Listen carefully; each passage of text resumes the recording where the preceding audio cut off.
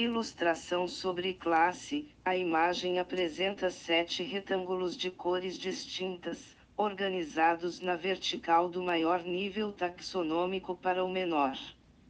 No terceiro retângulo de cima para baixo, em roxo, no centro há a palavra classe,